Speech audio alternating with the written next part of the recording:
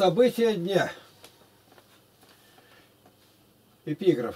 1 Коринфянам 15.13. Если нет воскресения мертвых, то и Христос не воскрес. Это у нас за 27 апреля 17 года. Сергей Игнатов пишет. Я многое узнаю от тебя, Игнатий Тихонович, и не рискую быть обманутым, потому что все сказано тобою во свете Святой Библии. Но меня иногда посещает дух негодования, когда слышу на тебя клевету невежественных, не читающих Святое Писание людей, в том числе из моего окружения. Все это нападки бесов, которые возводили ложь на святых людей по зависти к ним, что с ними Бог.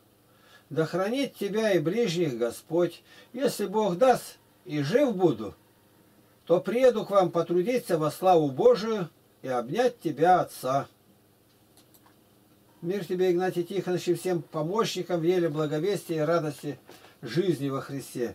В Святом Писании написано о неизменяемости вечного Бога.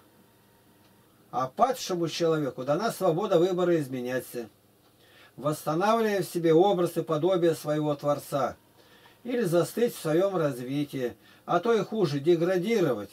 Мне дорог такой последователь Христа, которого я вижу в твоем лице, через которого обнаруживаю свои слабые места, дабы прикрыть их с Божьей помощью духовным и телесным трудом.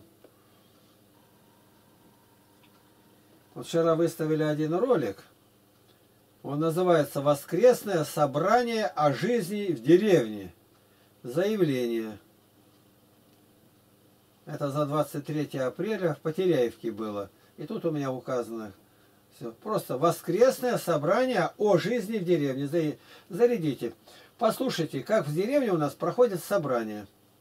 На 50-й минуте зачитывается заявление Козловых Сергея и Татьяны и дается пояснение, как, что и почему. Один тут мне сбрасывает материалы, он там написал стихотворение. Вот такая есть Анастасия, звенящие кедры. И это вот дает как бы импульс ему задуматься. Я ему пишу на это. Никакой Анастасии нет и не было. О которой пишет Мегре. Люди задыхаются в асфальтовых испарениях в городах. Вот он и дал глоток лжи, который вылился уже и в книги, и потекла жижа в спальнях, и попытки найти это беловодье, свою шамбалу Ан-Энербо. А что такое Аненербо, некоторые не знают, я поясняю здесь. Аненербо по-немецки – это наследие предков а полное название – Немецкое общество по изучению древней германской истории и наследия предков. Организация, существовавшая в Германии с 1935 по 1945 годы, созданная для изучения традиций, истории и наследия германской расы с целью оккультно-идеологического обеспечения. Функционирование государственного аппарата Третьего Рейха – Далее поясняю, безбожник Мигре, он лжет на прополую и пишет так, что полоротые поверили в существование звенящих кедров. В первую очередь, никакой Анастасии нигде нет. Люди пишут письма, проще. Ну, написал. Ну, нет ее нигде, нету. И он сам говорит, я просто сочинитель, и звенящих кедров никаких нету. А есть просто кедры. Но просто кедры ну, не нужны. Их пилят, и не будет кедров никаких. Совсем никаких. А иные думают, что это секта какая-то по образцу дворкинских столовых. Все бред и ложь. Еремея 2.13. Я места, которые Писание э, зачитываю, если у вас есть возможность, старайтесь записывать.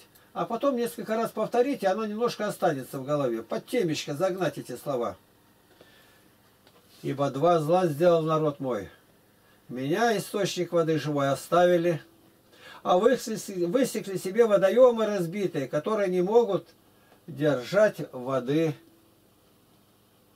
Не могут они держать воды. Выдумка это. Вот есть хорошая очень книга «Отец Арсений». Ну, просто верят все. Но это выдумка. Не было отца Арсения никакого. Нету нигде ни одной фотографии, ни места захоронения, Ни одного ученика, нигде ничего нет. Но написано хорошо, я его сам насчитывал. Это собирательный образ. А Анастасия вообще не собирательный никакой. Выдумка. Если пишет «Кавказский пленник» Лев Николаевич Толстой, то тогда было много пленных, попадали они. И он э, одну историю берет и пишет. Ну, называет Жилин и Костылин. Тот на костылях все время, который боялся шага сделать, сидел в яме. А этот Жилин все-таки убежал. И ни рубля не заплатил. Исайя 66, Так и я употреблю их обольщение и наведу на них ужасное для них.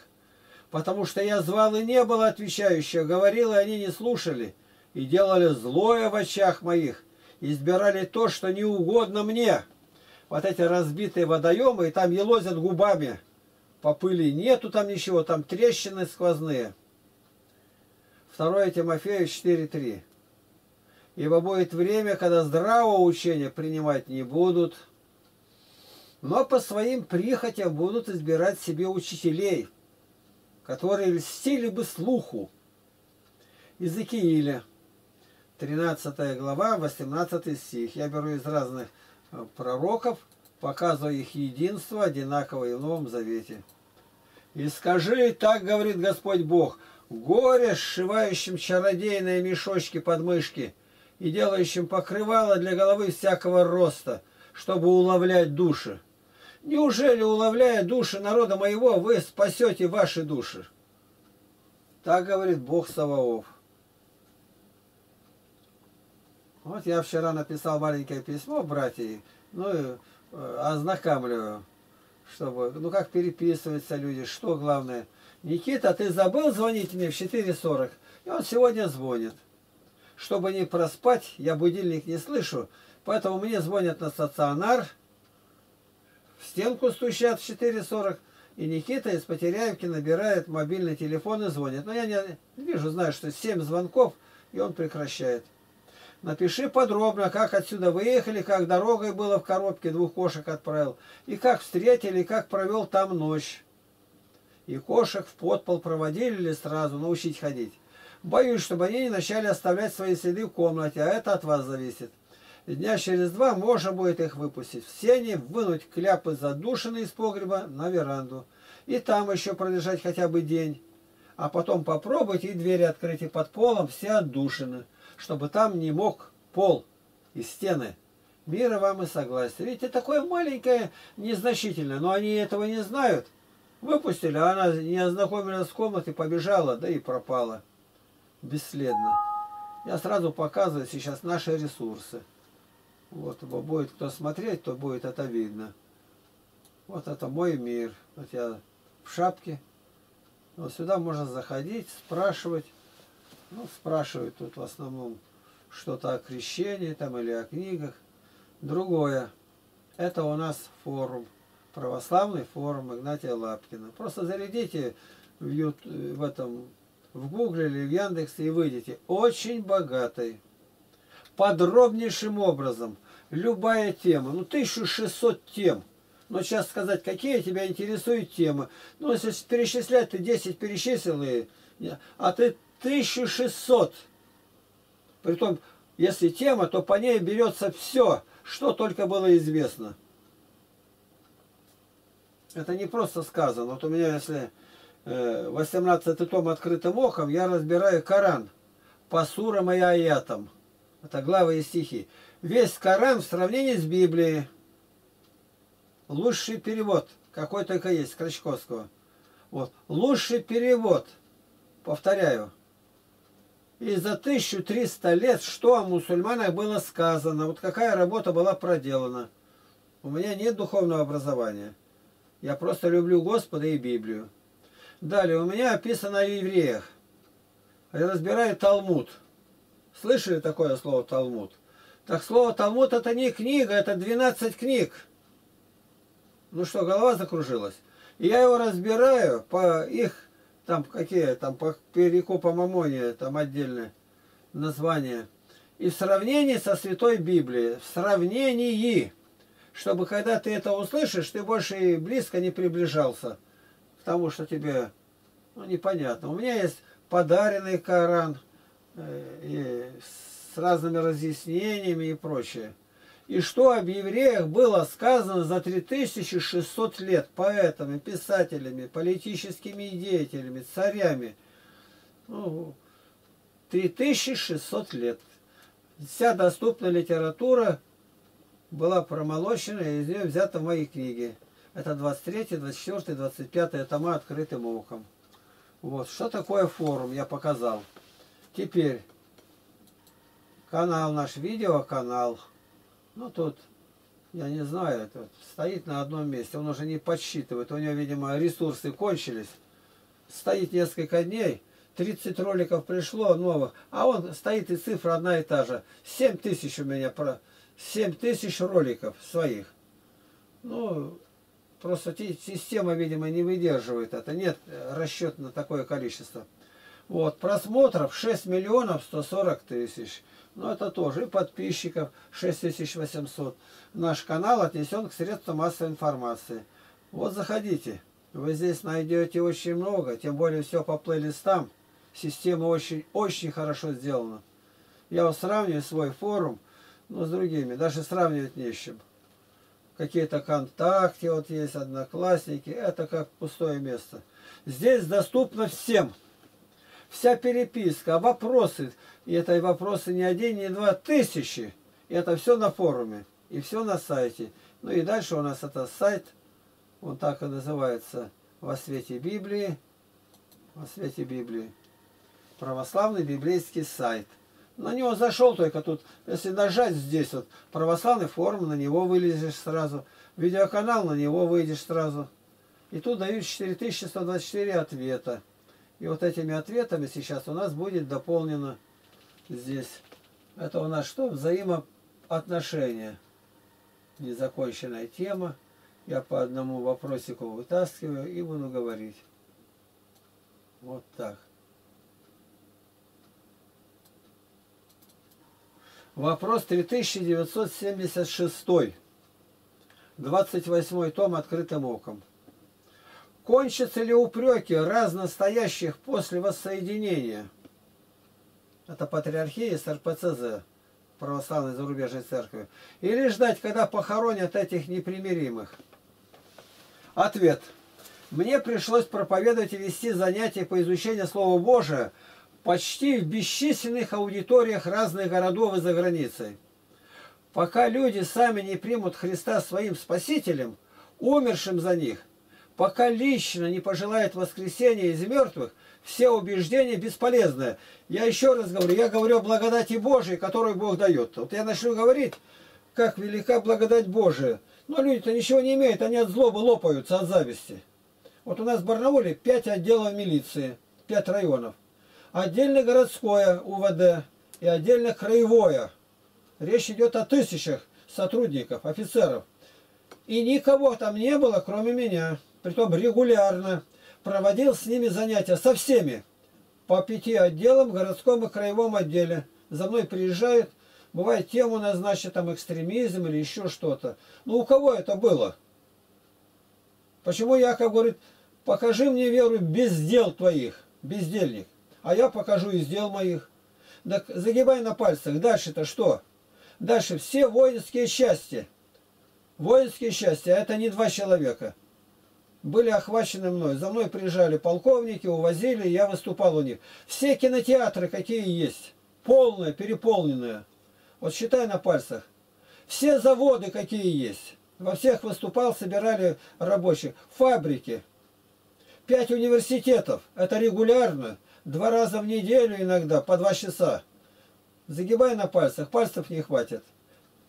Институтов. Все техникумы. Десятки школ, десятки. Не, два, не, не две, не три школы. Притом они там в школах делают два-три класса в один класс. Я проведу занятия, через коридор перехожу в другом. Это здесь и в Новосибирске, в разных городах притом.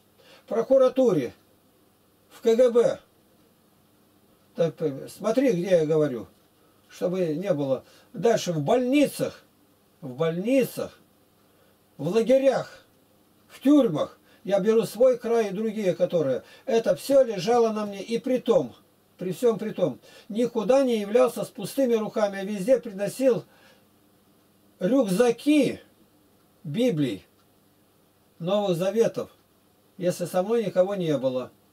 Это невозможно, скажут. Да, невозможно. Я одновременно вел три радиопрограммы. Три. Две онлайн сегодня называют. Одна на воскресная часовая. Прямо в прямом эфире я сижу перед микрофоном. И тут же на вопросы отвечаю. Ну у кого где было?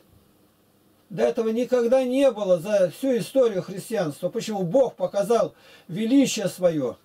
Притом и у баптистов, и у православных, и в храмах, и я не могу назвать место, на площадях, возле храмов, в Москве, в метро, в храме Василия Блаженного, там возле Кремля храмы, где даже на территории, на территории Кремля пришлось немного сказать.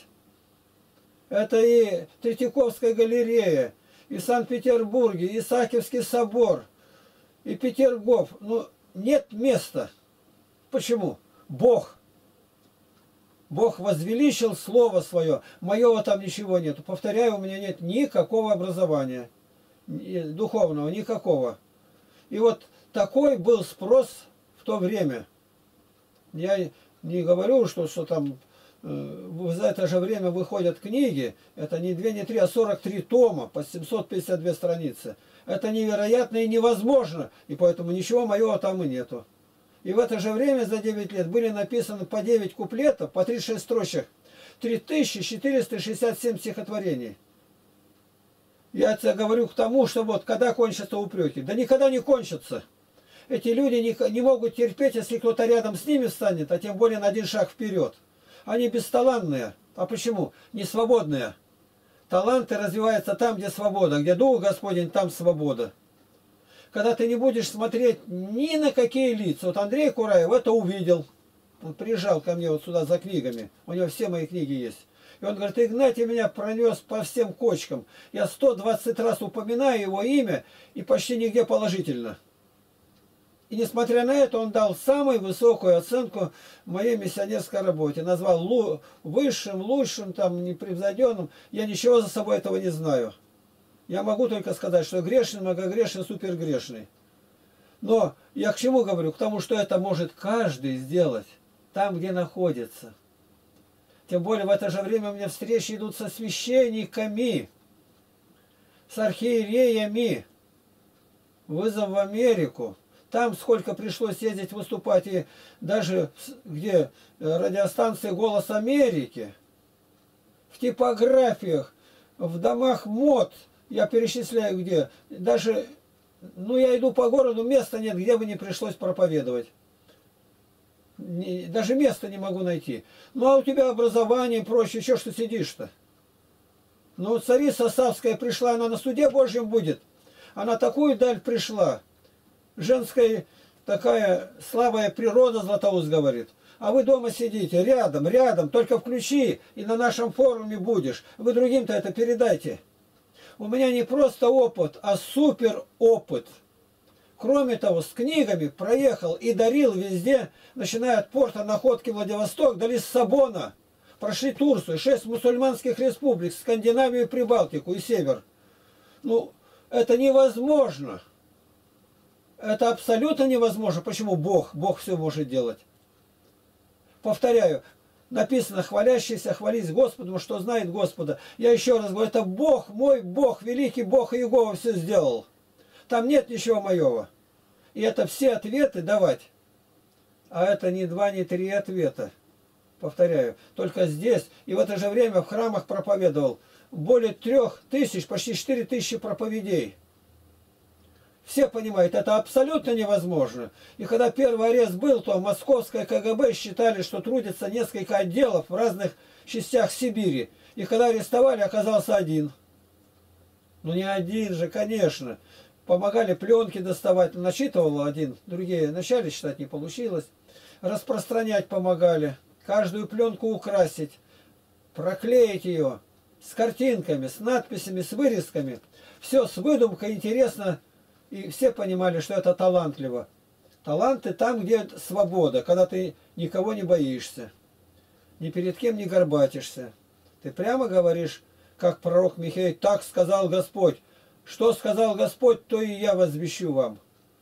Но в это же время у меня действовал лагерь. Лагерь. единственный в России. В это же время мы начинаем строить единственную в России деревню, православную, повторяю, православную, по всем канонам, чтобы жить. В это же самое время, которое я сейчас называю, да где время было сократить, сон был около двух с половиной часов в сутки. Я показываю возможности человеческие, когда с ним Бог. Я говорю как о постороннем, в третьем лице. Ничего из этого своим не признаю.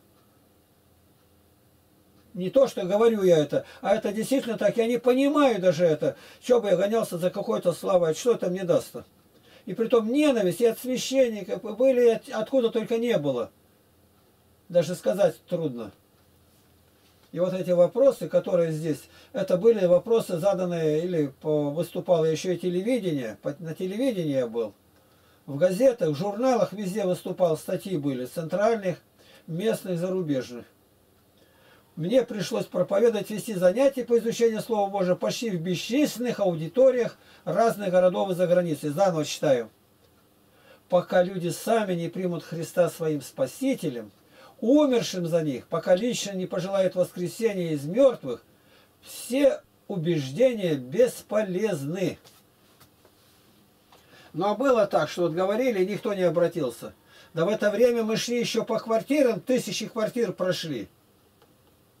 Некоторые могли только раз, а я ходил каждый день.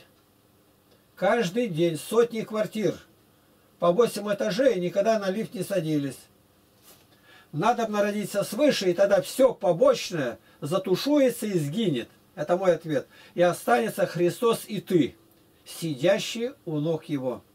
Никто никого не призывает умильно ожидать от этого более мистика ритуального, чем политического события, каких-то особых материально-прагматических последствий. Это я беру выдержку.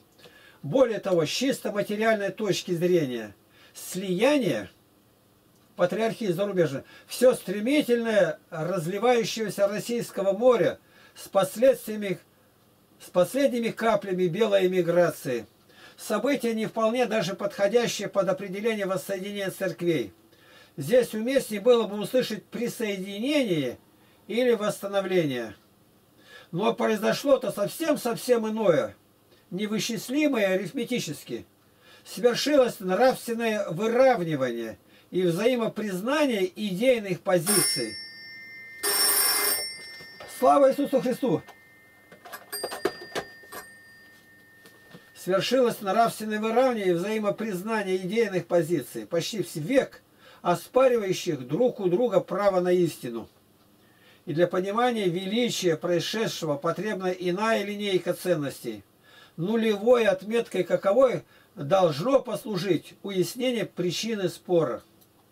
Безумный семнадцатый год, беспримерная смута в умах и сердцах бьющихся за власть, бесподсчетная драма последовавших десятилетий – все эти необозримо слезные и кровавые страдания обесмысливают затянувшиеся юридически-фарисейские взаимоупреки и толкования от легитимности выборов патриарха Тихона до захвата храмов в начале 90-х годов.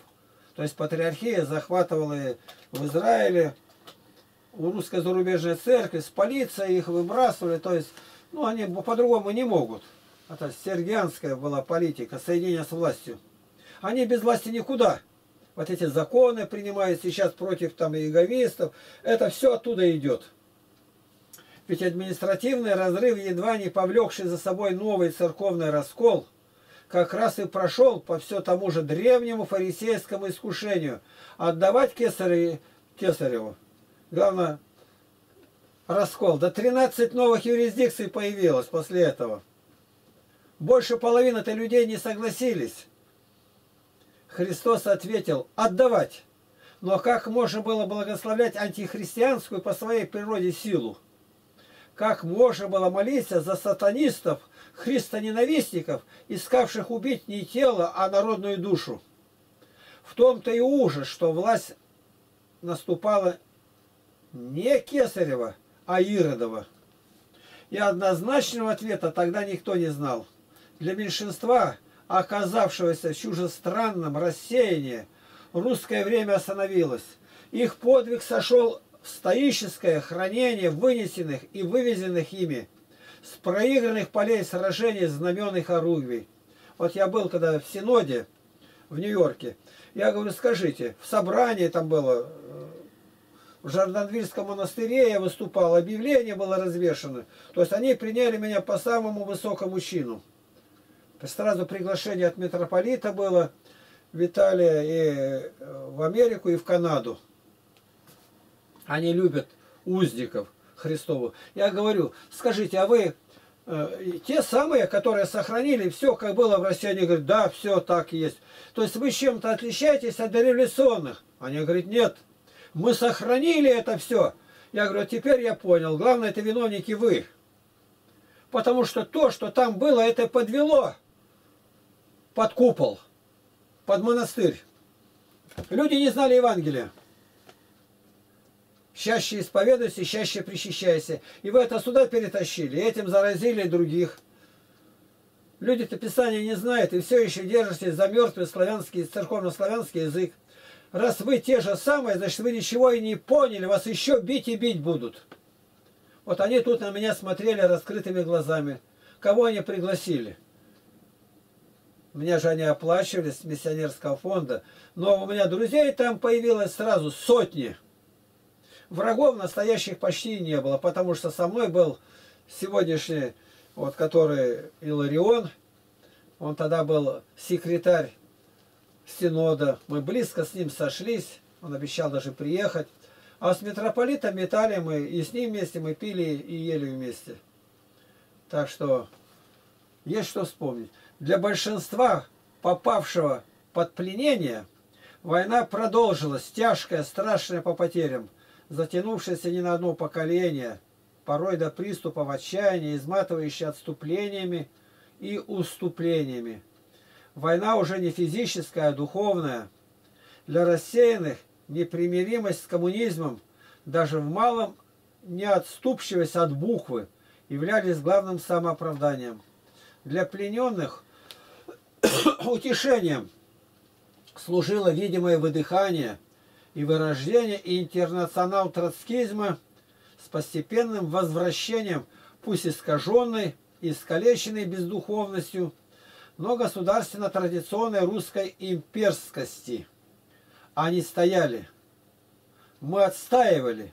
Кто был чище? Патриарх Сергий посылал Сталину поздравления с годовщиной октября, а зарубежная церковь причащала сотрудников и соратников гитлеровского фашизма. Кто же был чище? И сегодня однозначного ответа никто не знает. Но все же, как можно было молиться за христоненавистников, искавших убить не тело, но народную душу? Судить не нам. Но мы, жившие и живущие на своей земле, теперь можем, имеем право засвидетельствовать промыслительность принятого когда-то нашими иерархами гражданского крестоношения и сегодняшнее воссоединение с непримиримыми хранителями законничества есть признание ими нашей победы. Впервые открыв для себя русскую эмиграцию в конце 80-х, я был поражен и придавлен пафосом ее обличительства. Американцы и аргентинцы, австралийцы и французы, партиями, прибывавшие из-за распахнувшегося занавеса, они так страдали за матушку Россию, так призывали нас к духовному возрождению и народному покаянию.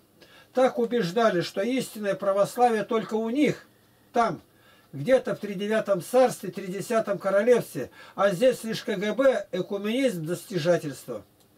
Сцены, аудитории вузов, школы, клубы, лагеря и дачи. Сколько же публики тогда собирали они на своих выступлениях? Им рукоплескали. Ими восхищались, гордились знакомством, звали вернуться на столь горячо любимую родину. Но, завершив турне, все страдающие и возрождающие к осени благополучно отбывали к себе во Францию, в Америку, в Аргентину, оставляя за собой шлейф осуждения священноначалия, растревоженные клирика и перебежчиками, в зарубежку прихода, смуту в оценке истории своей родины, своего народа. Ведь еще не разбирались мы, не умели различить того, что три волны эмиграции из России имеют различные природы. Первая была действительно вынужденная, без выбора, где жить, просто решавшая, жить ли вообще.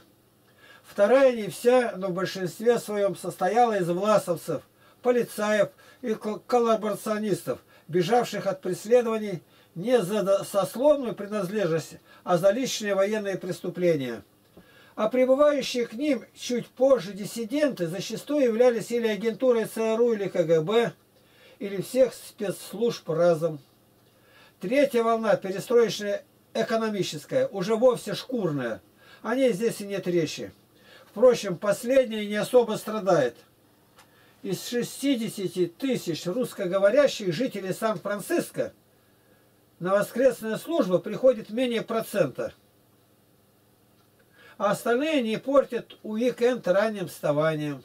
Так вот, эмиссары покойного ныне митрополита Виталия, активисты скаутского ОРЮР движения, белоказаки, МТСовцы и прочие, страдающие и возрождающие, на перебой выдавали себя за белую миграцию, практически ушедшую к тому времени в лучший мир.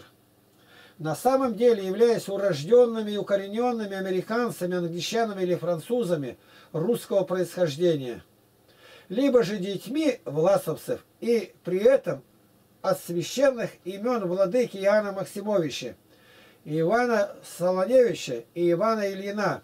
Они страстно и гневно требовали от нас всенародного покаяния за цареубийство и сотрудничество, а самое главное призывали к возрождению – но возродиться может только умершая. Как может родиться не бывшая? Сирахов 23.30. Когда несчастливый проклинает сатану, то проклинает свою душу. Тут номера на один номер в книге ниже. Здесь 22 глава, то в книге может быть 21. Римлян 2.1. Итак, не извинителен ты, всякий человек, судящий другого. Ибо тем же судом, каким судишь другого, осуждаешь себя, потому что судя другого делаешь то же. И стихотворение. Из сверстников моих ни одного, кто на арене жизни был бойцом. Один по пьянке сам лишился ног, залез под роковое колесо, тот спился, тот повесился, как пес, попался на аферах, скромных кражах, тот без разнения, без зазрения с производства нес, в этап позорный вором разнаряжен. Ничем не лучше, я один из них. Мы вместе куролесили по пьянке. У каждого свой пик и пикрис возник. До срока в гроб сыграли, скрылись в яме. А мне, нескромному, нещадно повезло. Святая Библия приблизилась вплотную. Открылась тайна, что во мне все зло. С тех пор счастливый во Христе ликую. Смерть каждого из сверстников моих ко мне стучалась, вызванная мною. Сейчас встречи со Христом, как вспышки миг, когда святою кровью грех мой смоет и прошлое ущельем отделилось. Рождение свыше обновило разум. На первое свидетельство дал силы быть виноградники, а не зевакой праздным.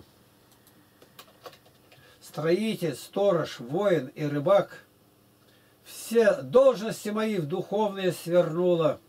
Разнес кусков господних короба, сам видел оживлявшиеся трупы. За что такие милости и избрания? Не по делам Бог чудом осенил. Есть Бог и суд. Об этом слышал раньше. Но через Библию все воплотились сны. Лишь детям сверстников с кукоженным в щеду могу дарить по Новому Завету, но к свету истины пока что не идут. К отцам погибшим тянутся, не к свету. Это вот один вопрос. Сразу выношу второй вопрос. Видите, как подробно дается. Вопрос 3980, 28 том. какую-то роль играли публикации о переписке между двумя частями русской церкви? С чем вы не согласны в бывших тогда доводах тех и других? Не согласны. Это я, главное, не согласен им там высказал в монастыре в Синоде. Вот где я огорчил, так огорчил. Я говорю, вы ничем не отличаетесь. Мне это тогда было открыто. Когда ни о каком объединении речи не было. Почему? Да это, это наглядно. Тут и не надо было, говорить, семь пядей во лбу. Ответ. А вы сами сравните переписку апостолов и нынешних грамотеев. На все письмо нет упоминания имени Христова и ссылки на Библию. А просвещение людей через повсеместную проповедь. Ни звука. Потому что это от ума человеческого, а не от Духа Божия. Хотя из любого письма можно взять полезное и обратный вывод сделать. Понять, как нельзя поступать. Письмо профессора философского факультета Санкт-Петербургского государственного университета Фирсова, священнику Русской Православной Церкви за границей. Он пишет, глубокочтимый отец А, ну Александр, недавно получил ваше письмо и спешу ответить на него. Вопрос вновь поднятый вами о том, возможно ли, если возможно, то на каких основаниях осуществить объединение церкви, действительно непрост. Однако я полагаю, что сложность это заключается не в том, в чем видите ее вы, не в позиции священноначалия Московской Патриархии, отказывающейся принести покаяние за многолетнюю ложь и поддержку богоборцев и за апологетику безбожной советской власти.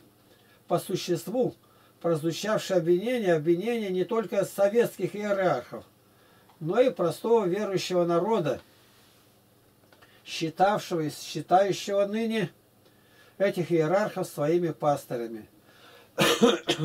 Не забудем, верующие принимали сирьянских епископов, ходили в сирьянские храмы, причащались и исповедовались у сирьянских священников.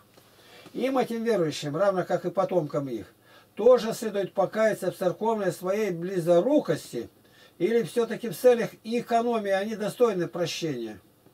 Вопрос, разумеется, риторический, но, несомненно, принципиальный, ведь церковь – это не только иерархия. Конечно, обвинять кормщих за то, что корабль сбился с правильного курса и плывет не так и не туда, возможно – но ошибкой будет воспринимать команду лишь как собрание молчаливых исполнителей, безгласных и слепых.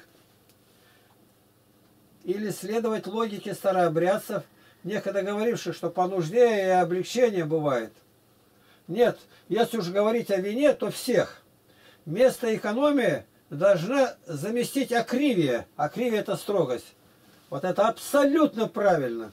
Что из этого следует? Вы убежден, прекрасно понимаете. Но это к слову. Не менее важно найти ответ на иное вопрошение. А судьи кто? Кто им дал право оценивать правильность поведения живших в Вавилонском плену советской богоборческой системы? Вот спрашивает, кто? Судьи, кто? Святая Библия, пророки апостолов, которой? Второе, труды святых отцов. А это 300 томов. Что они говорили? Далее, Вселенские соборы поместная книга правил – и по житиям святых пронарывается. Вот, то четыре параметра. Впрочем, не стоит спешить с упреком. Необходимо спокойно и по возможности здраво разобраться с основным. Что нам мешает объединиться? На мой взгляд, основная проблема заключается в социально-психологических стереотипах. В том, что мы продолжаем мыслить схемами прошлого, выдавая за принципиальность собственную косность и желание оказаться принципиальными. Сейчас-то мы не хотим понять, что жить только ностальгией по разбившейся в 1917 году Великой Империи и чаять ее восстановления, хотя и красиво, но, увы, наивно, что былое требует дум наконец, что необходимо осознание своей личной ответственности за настоящее. Именно эта ответственность и должна заставлять нас, преодолевая всевозможные препятствия, стремиться к излечению старых болезней непонимания и отчуждения друг от друга, их преодолению разобщения, ставшего одним из трагических итогов русской смуты 20-го столетия. Вернемся теперь к нашим разногласиям. Я вынужден вновь вспомнить о Сергианстве, ибо вы, отче, подчеркнули, что оно не преодолено в московской патриархии до сих пор. свое время я писал на эту тему, выпустил книгу «Время в судьбе» по, о генезисе сергианства в русской церковной традиции 20 века. Вы знаете, что увидевшая свет в русском церковном издательстве, она была с интересом принята и первый рамха в русской зарубежной церкви, владыкой Лавром. В этой книге объясняю, что вкладывается понятие сергианства, я отметил, что своего рода извращенный атеизмом византийский грех, стремление православной церкви найти себе место в политической структуре государства и одновременно стремление государства оказывать влияние на ход внутри церковных дел. Не вдаваясь в объяснение приведенного определения, тому посвящена книга, книга и вовсе не считая его единственным правильным.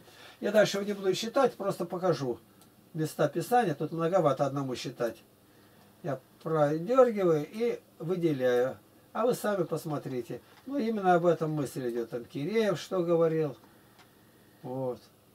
Тут и Ленина, и Тихона, всех затрагивает.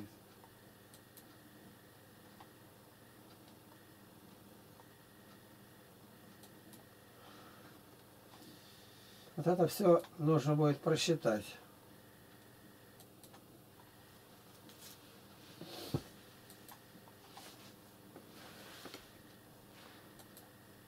Тут много мест, из каких книг берут. Все это декларации.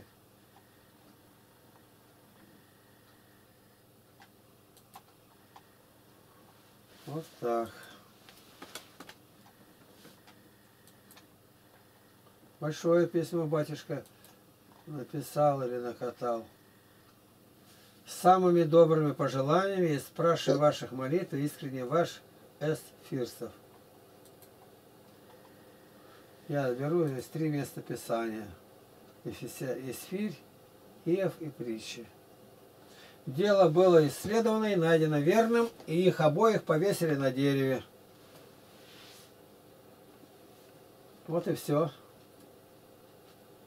Вот так и зарубежная церковь я к этому отношу. Иов 34, 24. Он сокрушает сильных без исследования и поставляет других на их места. Вот и все. Это будут другие люди, избранные, более примирительные. Притча 18.18. Первый в тяжбе своей прав, но приходит соперник его и исследует его. Ну, раз исследует, значит, и надо смотреть на исследование. Как худо и нехорошо весьма историю уроками шутя пренебрегать. Врасплох застанет жесткая зима, на те же самые напоримся рога. Христос невеж предупреждал сурово, что если не покаяться в соделанных грехах, ждет та же гибель, окаянство, прорва, скорбей неисчислимых вороха. О революциях и войнах речь впритык, неисследимо исследовать доступно, не быть слепым, как под землей кроты, прожив для выгоды продажи купли. История в прошедших катаклизмах застряла на страницах древних книг, не в замогиле, но оно так близко, неосторожных всасывает в миг. Как к одному один на нашу перфокарту наложатся события с моим участием. Не пренебречь бы запоздала Спартой, пред бедой не спасовать бы пятясь. Библейские расправы с Иудеей,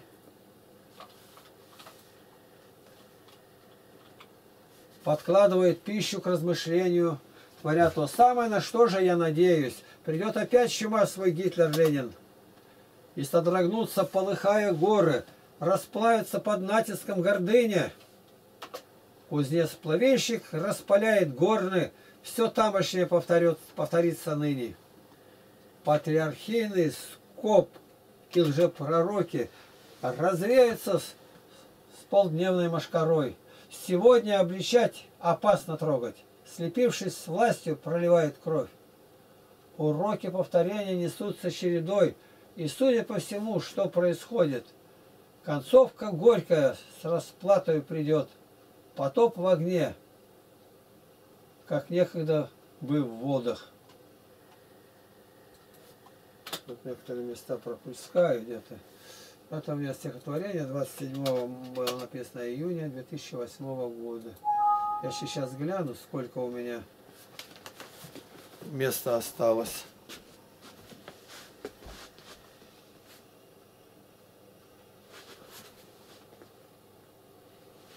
Так, еще 15 минут. Видишь, один, туда и сюда бегать надо. Здесь сейчас должен я написать 22 и 15, 37. И глазом глядеть до 37-го как-то когда идет.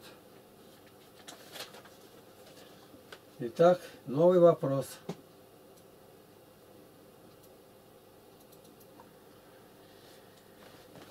Вопрос 3715. 25 том открытым оком. Часто ли вам пишут архиереи вообще и конкретно отзывы на ваши книги? Это мне студенты там задают э, в университете там или по радио. Я сейчас не знаю, откуда эти вопросы. Но видно, что люди знают, что и за границей связаны и прочее. Отвечаю, не часто. Они люди весьма занятые. Было бы им чем заняться выше спасения человека. И в другом направлении используют время – это апостол Павел имел много свободного времени для переписки, писал Тимофею, Титу, Филимону, Мирянину. Даже пророк Илья не брезговал написать письмо. Вторая Паралипоменон 21.12. «И пришло к нему письмо от Илии, пророка». Некоторые даже не знают, что и Христос писал письма. Это прямо в житиях указывается. Не знают. А вот Илья писал, вот одно место Библии есть это – Второе Паралипоменон 21.12. Письма очень важная часть в управлении государством и церковью. Видишь, я куда перескакиваю. Речь идет сейчас, как относятся архиереи к этому. Но так уж получилось, что ну, не рядом я с ними, а что-то они и в письмах пишут. Да, у меня есть благословенная грамота от митрополита, подаренная книга правил с большой личной подписью, я уже показывал его, рукой им написано. Неемия 2.8. «И письмо к Асафу, хранителю царских лесов, чтобы он дал мне дерев для ворот крепости, которая при Доме Божием, и для городской стены, и для дома, в котором бы мне жить. И дал мне царь так, как благодеющая рука Бога моего была надо мною». Отсюда вывод, что как попало, не рубили. Браконьеров лесных не было. Тогда разговор был короткий. Дерево, дерево, как Петр первый говорил, если даже сворует на цену веревки, и на веревке на этой повешаю. Деяние 23.33. А те, придя в Кесарию и отдав письмо правителю, представили ему и Павла. Исфирш 9.30. И послали письма ко всем иудеям в 127 областей царства Артаксерксова со словами мира и правды. Деяние 9.2 и выпросил у них письма, у него письма в Дамаск к синагогам, чтобы кого найдет, последующих всему учению и мужчин и женщин, связав, приводить в Иерусалим. Видите, все про письма говорится. Даже открытые письма придумали писать не сегодня. Но как это открытое? Но открытое письмо, это даже публикует его заранее. Хозяин еще не получил, уже можно публиковать. Тогда прислал ко мне Санавалат в пятый раз своего слугу, у которого в руке было открытое письмо. Открытое письмо так и называется. Вот одно место Библии есть, но кто его знает? Неемия 6.5. Для апостола Павла письмо было основным средством общения с дальней паствой. Вот как. Поэтому еще упрекать, что я лично мало встречался. 1 Коринф 16.3. Когда же приду, то которых вы изберете, тех отправлю с письмами для доставления вашего подаяния в Иерусалим. Послание апостола Иакова, Петра, Иоанна, Иуды – это самые натуральные письма. На днях получил письмо на бланке. Преосвященный Иларион Капрал, архиепископ Сиднейский, австралийско-новозеландский, 2007-2008 Рождество Христово и дальше письмо. Это тот, который сейчас первосвятитель. Дорогие о Господи, отец Аким и Игнатий Тихонович, с любовью от всего сердца поздравляю вас, вашу семью и всю общину в Потеряевке с Рождеством Христовым и грядущим новолетием. 2007-2008 год. Молитвенно желаю вам крепкого здоровья и благоденствия, бодрости духа и обилия, духовных радостей от родившегося в Вифлееме Христа Бога нашего. Благодарю вас за ваши святые молитвы и миссионерские труды. Это-то никуда не делось, и молитвы, и труды остались. А он вас бросил, бросил, значит, бросил, не нужны. Но ни такого в истории не было. Беспричинно бросать не бросают. Никто не бросал. Ему сказали, что нужно строчку дать, что нет здесь приходов зарубежной церкви. Есть, есть. Притом не от 13 разных юрисдикций-то. Там есть Агафангел, Пашковский и другие. А мы никуда не сдвинулись. Вообще никуда не переходили. Благодарю вас за ваши святые молитвы и миссионерские труды. Хочу также выразить особую благодарность Игнатию Тихоновичу за полученные мною его ценные и назидательные богословские труды.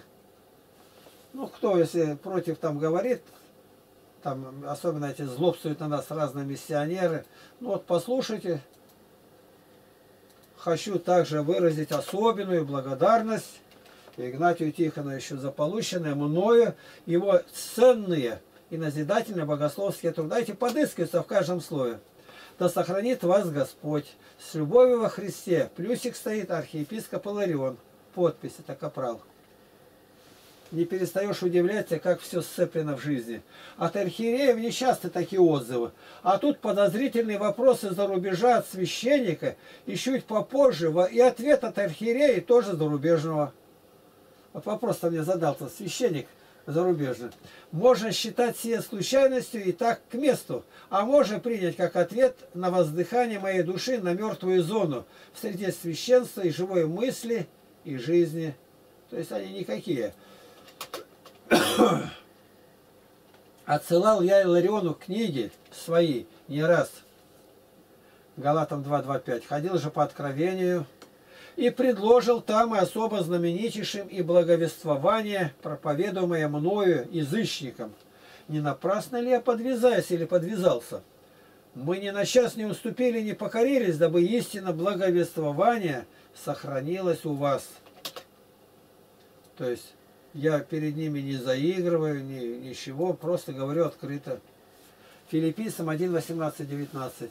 Но что до того, как бы ни проповедовали Христа притворно или искренно, я и тому радуюсь и буду радоваться, ибо знаю, что это послужит мне во спасение по вашей молитве и содействию Духа Иисуса Христа. Стихотворение. Послал мне видение Господь Саваоф. Я видел кашницу румяных плодов, и голос Господень в ночной тишине как пение арфы послышалось мне. Вот смог созрели, сказал мне Творец, Израиль заблудший, приспел твой конец. Исполнилась мера, исполнился срок, Зарею кровавой займется восток. День скорби и стонов настанет для всех, Рыдания сменит и песни, и смех, И ангелы смерти пройдут по земле, И будет печаль их на каждом челе. И грудами лягут людские тела, как будто по миру проказа прошла, и станут их молча родные бросать, и слезы прольются на каждую пять. Земля несчастивой, земли несчастивой, Сион, трепещи, натянуты луки сверкают мечи, возмездие близко, Господь Саваоф наложит деницу на блудных сынов на тех, кто терзает и вдовы сирот, и высевки хлеба за хлеб продает, и с мерой поддельно спешит на торги, и братьям невольно сулить за долги.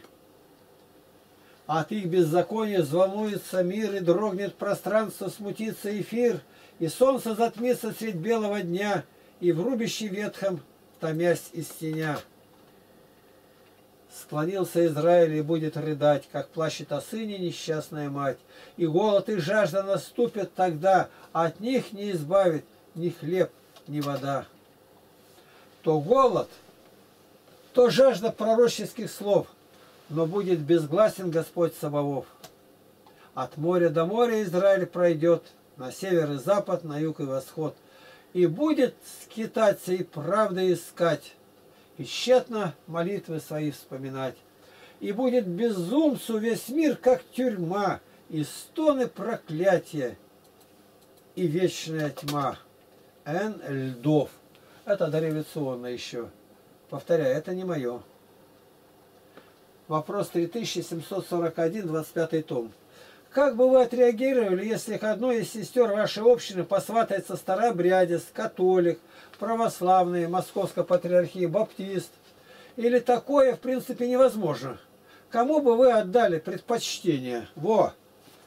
Как навалом женихи пошли. То не найдешь, а тут сразу, отовсюду. Ну что, вообразим, что так и идет. Мое твердое убеждение, что ничего этого уже не нужно. Вот от этого ответа как раз не ждали. А почему? 1 Коринфянам 7.8. Безбрачным же и вдовам говорю, хорошо им оставаться, как я. 1 Коринфянам 7.27. Остался ли без жены, не ищи жены. Но каждому дан свой талант.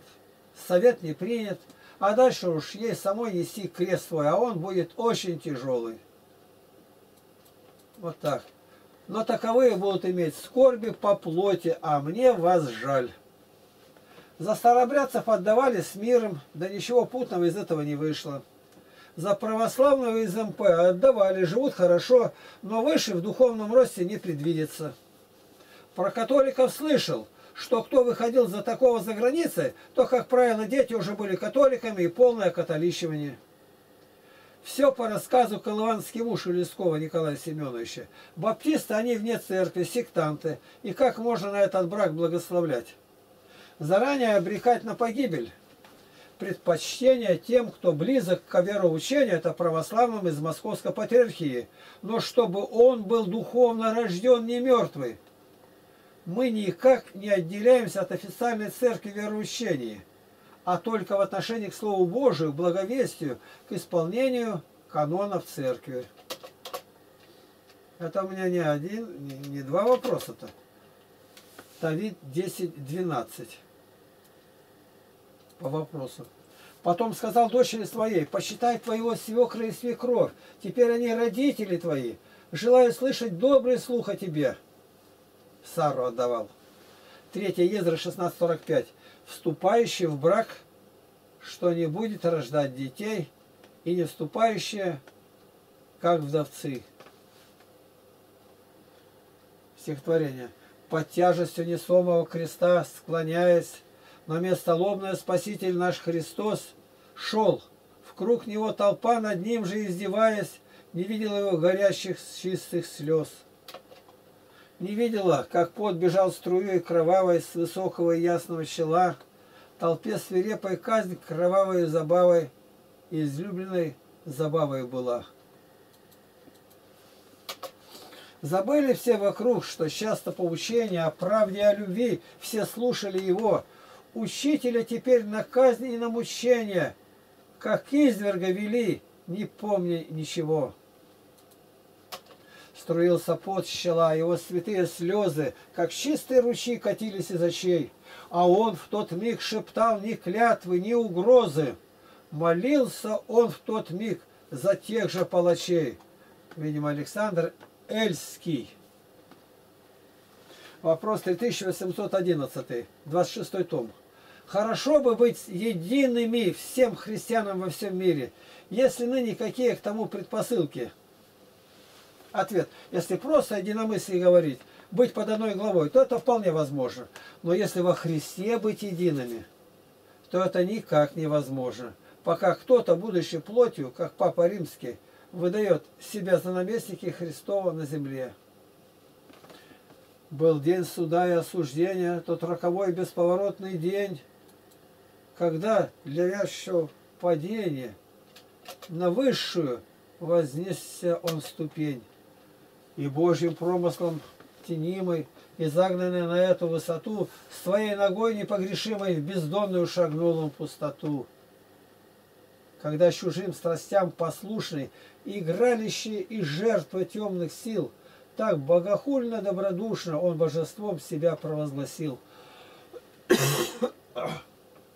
о новом Бога-человеке вдруг притча создалась и в мир вошла, и святотатственной опеки Христова Церковь предана была.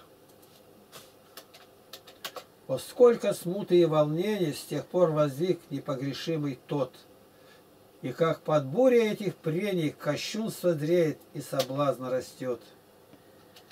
В испуге ищут правду Божью, очнувшись вдруг все эти племена, и как тысячелетней ложью она для них в конец отравлена. И одолеть она не в силах. Отравы той, что в жилах их течет. В их самых сокровенных жилах и долго будет течь, и где исход. Но нет, как не борись упрямо, уступит ложь, рассеется мечта, и ватиканский Далай-Лама не призван быть наместником Христа. 1871 год, Федор Тютчев. Вот кто это стихотворение написал. Эпиграф. Иеремия 19.9. «И накормлю их полы плотью сыновей их, и плотью дочерей их, и будет каждый есть плоть своего ближнего, находясь в осаде и тесноте, когда стеснят их враги, их и ищущие души их». Стихотворение. Мы все ходили под Богом, у Бога под самым боком. Он жил не в небесной дали, его иногда видали. Живого на мавзолее, он был умнее и злее, того иного другого по имени Егова. Мы все ходили под Богом, у Бога под самым боком. Однажды я шел Арбатом, Бог ехал в пяти машинах, от страха почти горбата, в своих пальтишках мышиных. Рядом дрожала охрана, было поздно и рано. Серело, брежило утро, он глянул жестоко, мудро, своим всевидящим оком, всепрощающим взглядом. Мы все ходили под Богом, с Богом почти рядом. Это поэт Слуцкий написал так.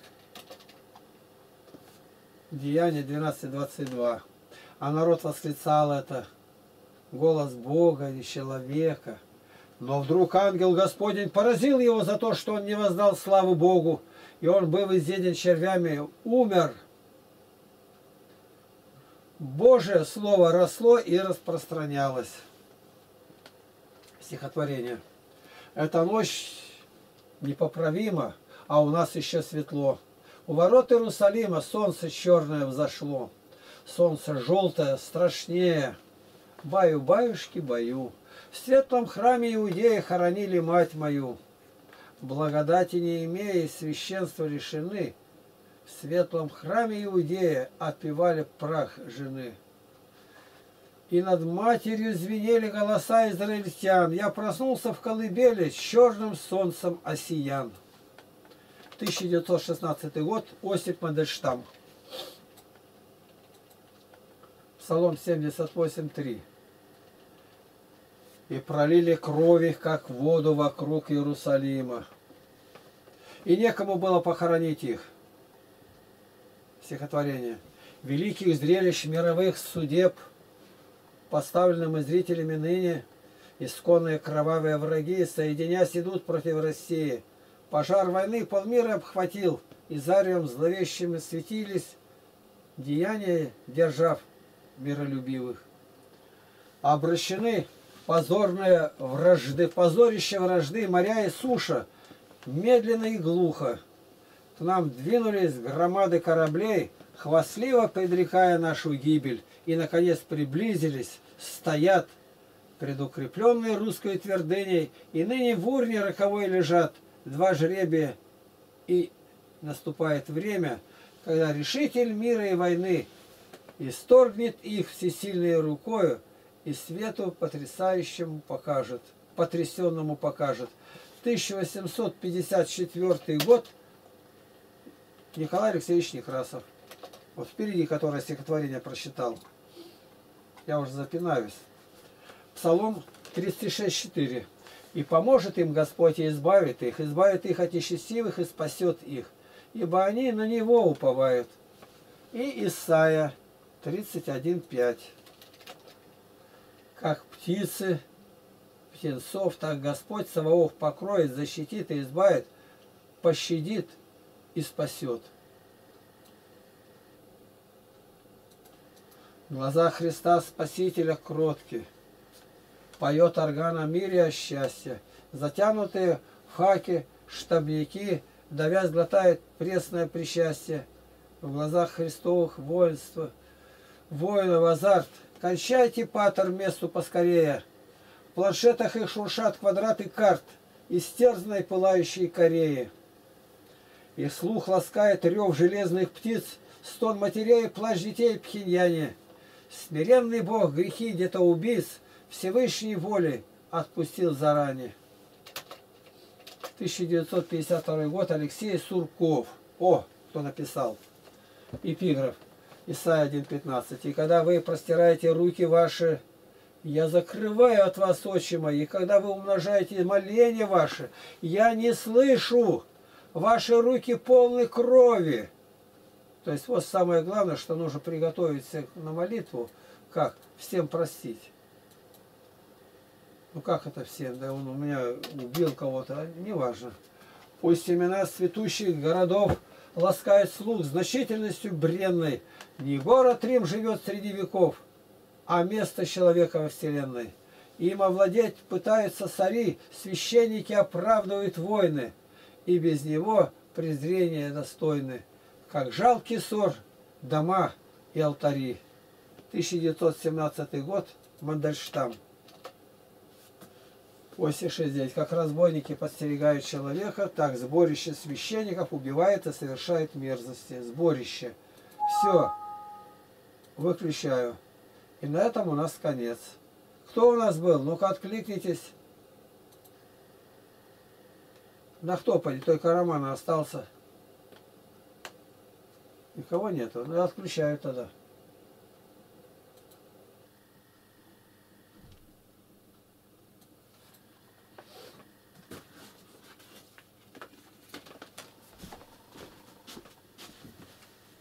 Oh.